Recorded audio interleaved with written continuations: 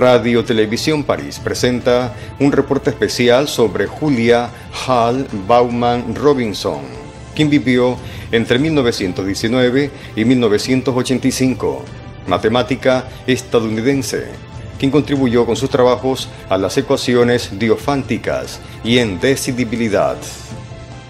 Julia Hall Bauman Robinson nace en San Luis, Missouri, Estados Unidos, diciembre 8 de 1919. Fallece en Oakland, California, Estados Unidos, julio 30 de 1985. Fue una matemática estadounidense. Hizo sus estudios universitarios en la Universidad de California, Berkeley, recibiendo el doctorado en 1948.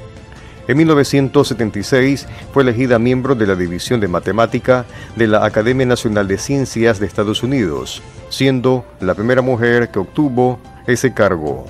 En 1982, la Asociación de Mujeres en Matemática, con sus siglas en inglés AWM, le dedicó la conferencia Noter, evento anual destinado a honrar a mujeres que hayan realizado contribuciones fundamentales a la matemática. En 1983 se le concedió un premio MacArthur, beca para respaldar el trabajo de científicos del más alto nivel, dotada con medio millón de dólares. Se la conoce sobre todo por su trabajo en ecuaciones diofánticas y en decidibilidad que contribuyó en gran medida a la demostración por Yuri Matijasevich de la irresolubilidad del décimo problema de Hilbert teorema de Matijasevich.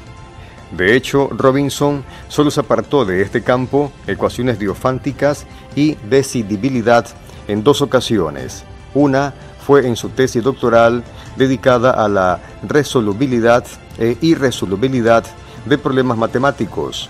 Otra, su importante aportación a la teoría de juegos. Julia Hall Bauman Robinson.